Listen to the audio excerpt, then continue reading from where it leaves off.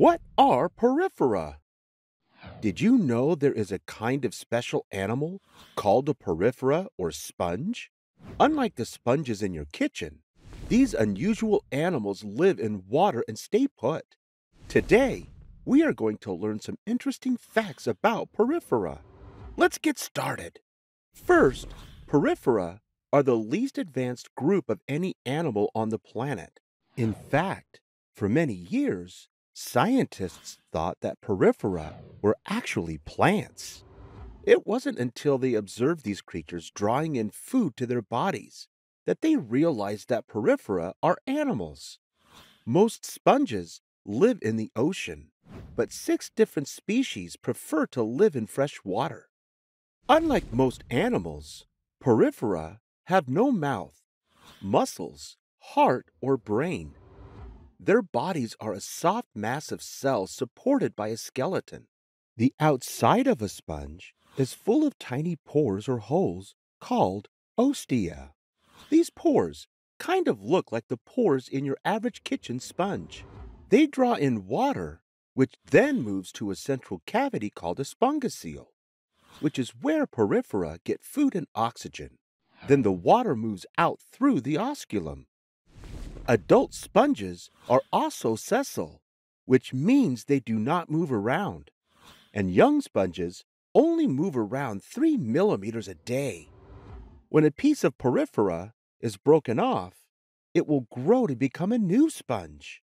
This is called fragmentation and is a form of asexual reproduction. Here's an interesting fact there are over 5,000 different types of sponges, and they come in all shapes and sizes. They can be flat or branchy, smooth or rough, soft or hard, mushy or prickly, or dull or brightly colored. Some are as tiny as a jelly bean, while others are as big as a human.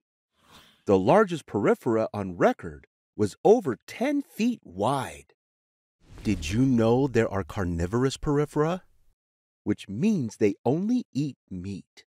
Can you guess what their favorite food might be? It's crab. That is probably because crabs are the easiest for them to catch. When a crab scuttles over a sponge, the sponge can detect the crab with its spicules. And what are spicules, you ask? They are Velcro like structures that cause the crab's legs to stick to the sponge. When porifera eat, they do so with each cell because they are all independent from the other. That means that each cell works apart from the other to digest the food. Pretty wild. Here is another interesting fact sponges can live up to 200 years. Back in the day, the ancient Greeks and Romans used porifera to pad their war helmets and armor. And throughout history, people have used sponges for bathing, cleaning, painting, and collecting. Nowadays, the sponges you use in your house are made from a factory, which means you will be the only animal scrubbing the dishes. Who knew sponges were so cool? Let's review to check your newfound knowledge. True or false? Porifera or sponges, are the least advanced group of animals on the planet. True. What is a sponge's favorite food? Crab. Fill in the blank. Adult sponges are blank, which means they do not move around. Sessile. Super job, sponge specialists. Porifera are a fascinating group of animals. The next time you pick up a kitchen sponge, think about its alive counterpart out in the wild. And don't forget to share what you've learned. Hope you had fun learning with us. Visit us at learnbright.org for thousands of free resources and turnkey solutions for teachers and homeschoolers.